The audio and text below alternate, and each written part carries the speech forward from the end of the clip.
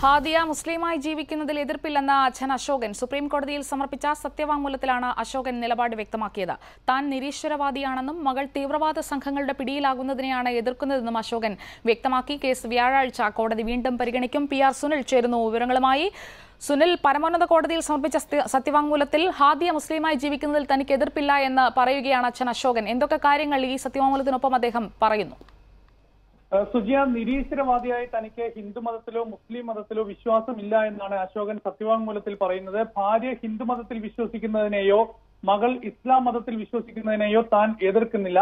മകളെ ശാരീരികമായും മാനസികമായും തട്ടിക്കൊണ്ടുപോയി തീവ്രവാദി നിയന്ത്രണ മേഖലയിൽ ലൈംഗിക അടിമയോ മനുഷ്യ ബോംബോ ആക്കാനുള്ള ശ്രമമാണ് നടന്നത്. അതിന് മൂകസാക്ഷിയാകാനാകില്ല എന്നാണ് സത്യവാങ്മൂലത്തിൽ പറയുന്നത്. അടുത്ത സുഹൃത്തായ അമ്പിളി പിന്തിരിപ്പില്ല പിന്തിരിപ്പിച്ചില്ലായിരുന്നുവെങ്കിൽ ഹാദിയ ഫാസിൽ മുസ്തഫയുടെ രണ്ടാം ഭാര്യയായി യമനിൽ എത്തുമായിരുന്നു.